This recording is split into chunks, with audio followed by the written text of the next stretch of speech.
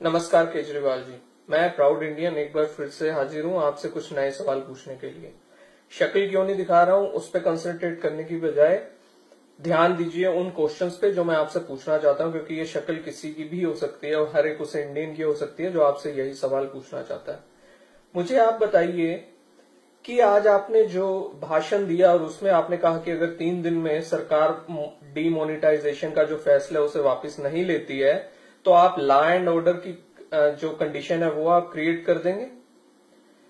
आपने क्या contract sign किया हुआ है देश के दुश्मनों के साथ कि आप उस, हर उस काम में टांग अड़ाएँगे, हर उस काम को होने नहीं देंगे जो देश के लिए अच्छा अब मुझे कुछ सिंपल से क्वेश्चंस का जवाब दीजिए, जो आज आपने अपने भाषण में बोला। सबसे पहले आपने एक बहुत ऊँची ऊँची आवाज़ में आपने बोला कि 40 परसेंट लेकर पुराने नोट बदले जा रहे हैं जी।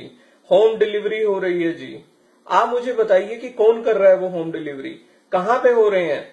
है जवाब आपके पास। आप क्यों नहीं बताते पुलिस को? आप क्यों आप क्यों उनसे, उन्हें बचाने की कोशिश कर रहे हैं? अगर आपको सही में मालूम है तो। झूठ बोलना बंद कीजिए। हवा में बातें करना बंद कीजिए। आप दूसरा लोगों को मूर्ख बना रहे हैं कि अंबानी, अदानी, बिरला, ये सब लाइन में नहीं लगे हुए हैं। भाई साहब लाइन में कौन लगता है? एक आम जनता लगती है। उन्हें क्या डीमोनिटाइजेशन होने से पहले वो लाइन में लगते थे?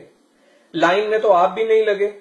मैंने तो नहीं देखा, आज नौ दिन हो गए हैं आपका या आपकी पार्टी का कोई इंसान लाइन में लग के ले रहा हो पैसे। आपके घर का गुजारा कैसे चल रहा है? जनता को मूर्ख बनाना बंद कीजिए। आप मुझे बताइए, जब आपने दिल्ली में ओड इवन का प्रोग्राम लाए थे तो कितने लोगों को परेशानी हुई थी? कितने पेशेंट जो दूसरे स्टेट से आ रहे थे? कितने आम पब्लिक कितने वर्किंग प्रोफेशनल्स को कितनी दिक्कत हुई थी। नहीं हुई थी दिक्कत। तब आपने कैसे इस चीज़ को प्रमोट किया था? तब आपको लोगों की प्रॉब्लम नज़र नहीं आई थी? तब हम सबने आपका सपोर्ट किया था क्योंकि वो एक अच्छे काम के लिए था। ये एक बहुत अच्छा काम है। आपको नहीं मालूम कि एसबीआई की हेड ने इंटरेस्ट रेट कम कर दिए हैं। आपको नहीं मालूम कि दिल्ली में प्रॉपर्टी के रेट 20 से 25 परसेंट तक डाउन आ चुके हैं। आपको नहीं मालूम कि कश्मीर में चार महीने बाद आज ट्रेन चली है, पथराव बंद हो गया है, स्कूल खुल चुके हैं। नहीं मालूम, सब मालूम है आपको। और आप लोगों को बेवकूफ़ बना रहे हैं कि आम जनता परेशान है, आम जनता परेशान है। कौन है ये आम जनता? आपको जो लोग फॉलो करते हैं, जिन्हें आपने अपने माया जाल में फंसाया हुआ है, वही आम जनता है। आपको वो आम जनता नज़र नहीं आती जो बैंक में 12 घंटे 8 घंटे लाइन में वो दिव्यांग लगा हुआ है और वो ये कह रहा है कि मैं मोदी जी के साथ हूँ। आपको वो लोग नज़र नहीं आते जो कहते हैं कि हाँ हमें दिक्कत हो रही है बट हम उस दिक्कत को सहने के लिए तैयार हैं। क्या वो आम जनता आपको नज़र नहीं आती? आपको वो आम जनता तब नज़र नहीं आई थी जब दिल्ली में चिकन गुनिया और पोल्यूशन के कारण क्या हाल करके रख दिया था? आप बता रहे हैं कि इतने लोग मर गए। चिकन गुनिया के कारण आप बताइए मुझे कितने लोग मरे हैं। कितने लोग मर रहे हैं पोल्यूशन के कारण दिल्ली में? अगर आपको सही में एक आम जनता की प्रॉब्लम है तो।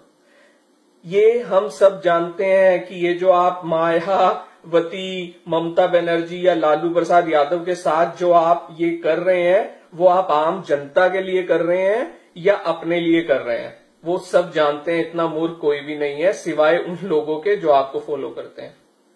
तो ये मूर्ख बनाना बंद कीजिए, अपना ध्यान दिल्ली की प्रोग्रेस में लगाइए अपने जो एफर्ट्स हैं, वो प्रॉब्लम पे कंसंट्रेट करने की बजाय उसको सॉल्यूशन करने पे लगाइए। लगाइए। जितने लोगों की आज आपने रैली की, अगर उतने लोगों को आपने समझा के बैंकों में लोगों की हेल्प करने के लिए भेजा होता तो ये प्रॉब्लम शायद थोड़ी कम गई हो गई होती। समझने की कोशिश कीजिए, जनता मूर्ख नहीं है।